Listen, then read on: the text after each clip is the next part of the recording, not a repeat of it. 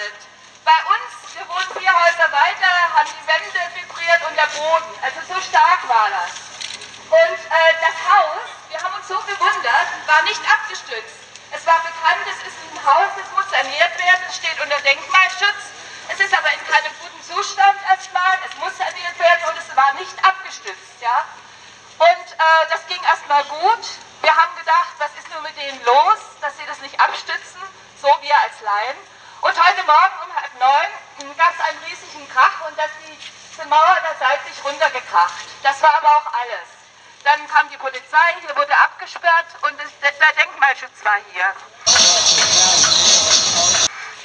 Dann, heute, äh, heute Abend dann um 6 Uhr haben die hier schon, ich weiß nicht, schon länger, waren die schon am Abreisen. Dann haben wir gedacht, der Denkmalschutz hat zugestimmt, haben wir natürlich gedacht.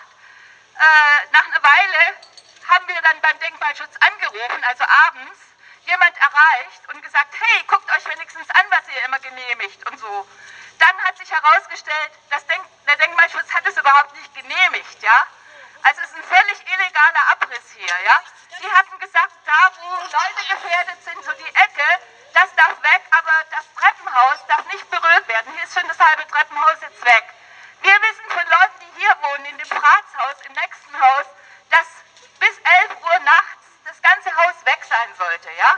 Die haben denen gesagt, passt auf, wir kommen heute Nacht noch bis zu euren Schlafzimmern. Also die, das muss aber um 11 Uhr fertig sein, das ist unsere Ansage. So, das ist der Stand hier. Jetzt fragt man sich, die Bauprüfungsabteilung des Bezirks Mitte war auch vor Ort, ja? Und hat das Ganze mitgetragen. Wir sind dann zur Polizei gegangen und haben gesagt, bitte stoppen Sie das, es ist nicht legal. Daraufhin ist es erstmal gestoppt worden. Und wie es jetzt weitergeht, wissen wir nicht. Aber es ist, also man muss mehreres überlegen. Hier haben Leute Zusicherungen bekommen, dass sie hier wieder zurück können in ihre Häuser bei gleicher Miete für zehn Jahren. Ja? Äh, das ist eine Abmachung. Und es gab eine Abmachung, dass das Haus stehen bleibt. Ja? Und es steht unter Denkmalschutz.